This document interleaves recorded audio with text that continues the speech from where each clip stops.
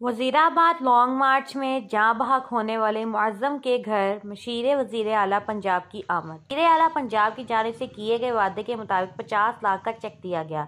वजीराबाद मुआजम जो कि गुजशत रोज़ P T I long march में जहाँ बहक हुआ था, उसे पंजाब हुकूमत की जानब से पचास लाख इमदाद का ऐलान किया गया था। वजीराबाद मशीर वज़ीर अला पंजाब चौधरी खालिद चीमा, एडवाइज़र चौधरी इरफान एहसान और असिस्टेंट कमिश्नर वजीराबाद राना अमजद महमूद ने चेक